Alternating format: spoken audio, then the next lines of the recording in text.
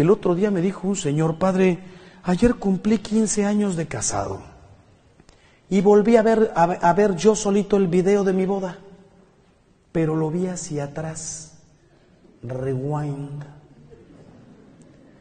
Me emocioné, padre. Cuando le quito el anillo, se la devuelvo a su papá y me salgo de la iglesia como Michael Jackson.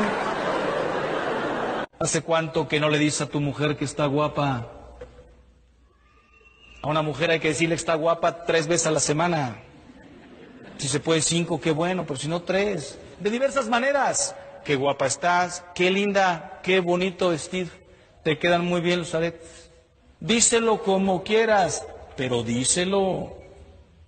Propósito de esta charla, saliendo de aquí, agarras a tu mujer, la ves a la cara y le dices, qué guapa estás.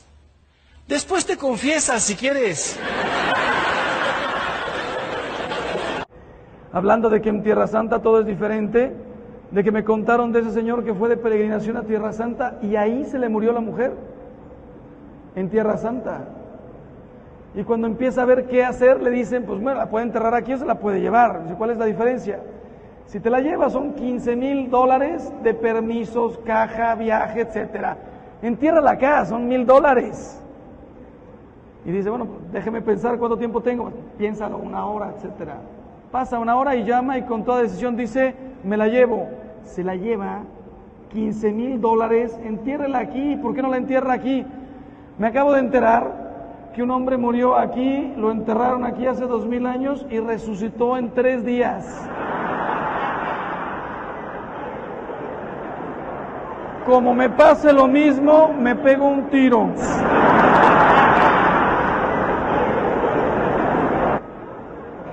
En México pasó, un tipo se sacó 90 millones de pesos en la lotería, está con el boleto viendo el periódico, que es el que se sacó el gordo, corre al balcón y le grita a la mujer que está en un supercito allá abajo, vieja, nos sacamos la lotería 90 millones de pesos.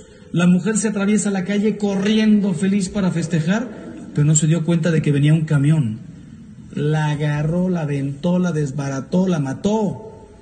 El marido se queda así en la ventana con el billete y dice, cuando estás de suerte, estás de suerte. ¿Usted sabe cómo se llaman las mujeres que siempre saben dónde está su marido? Viudas.